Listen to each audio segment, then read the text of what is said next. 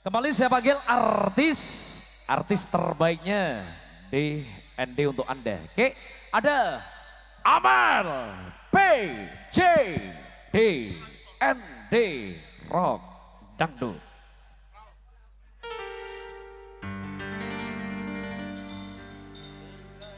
Terhadap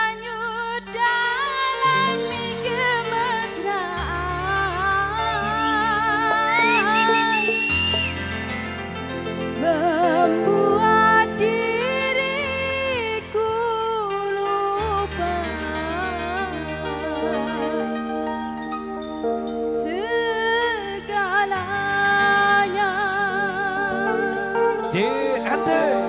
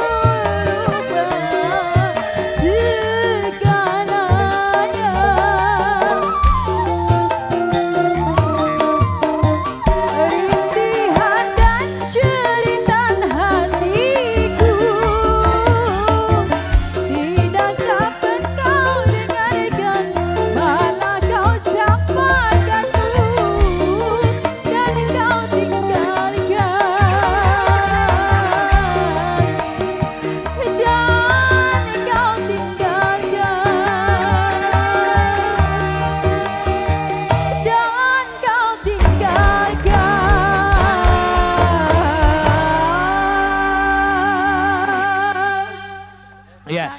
Yeah. Ini masih tadi yang mau duet gala-gala yang mana? Gala-gala boleh monggo oh. sekalian langsung. Yang mana yang mana monggo monggo.